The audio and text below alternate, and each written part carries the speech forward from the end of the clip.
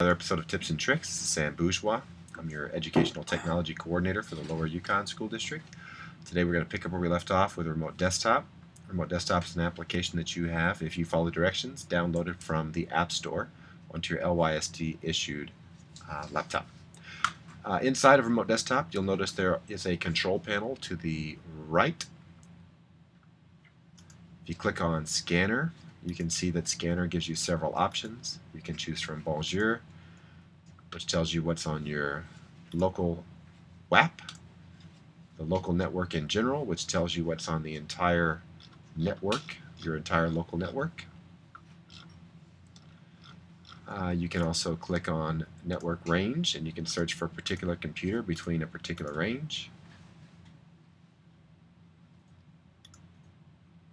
You can put a specific network address in if you're looking for an IP specific to a computer.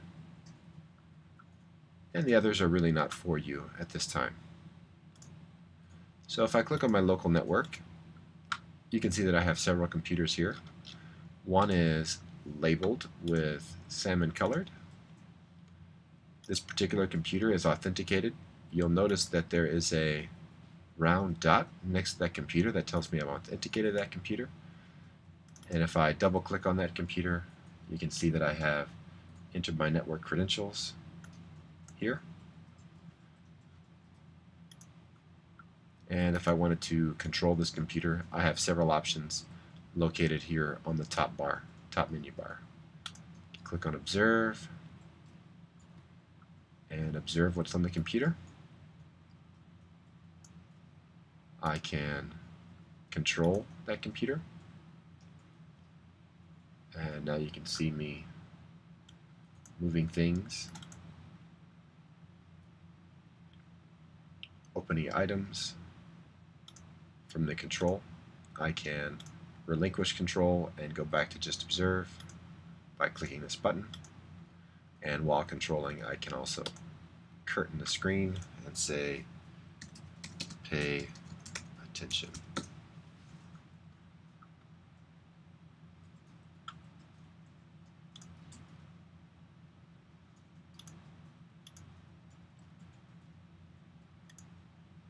Okay, while you're clicking on the user, whatever user is selected, you can interact with that user. Here, you can control, observe, curtain, or share screen. And you can send your screen out to that user, maybe to demonstrate something. Send a message.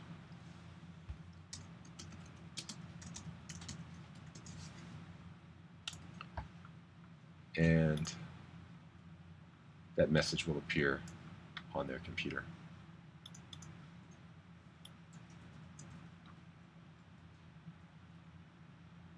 You can send multiple messages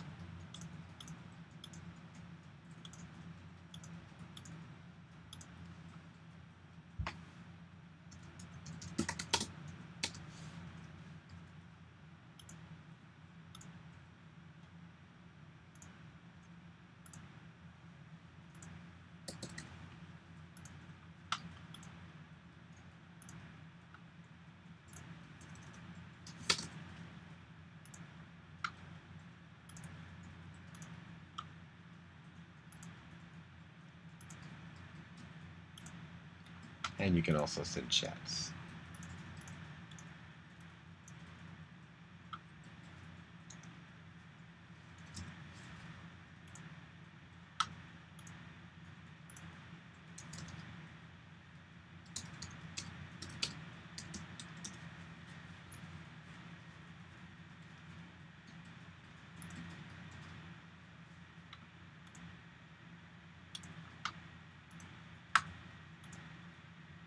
Can lock the screen.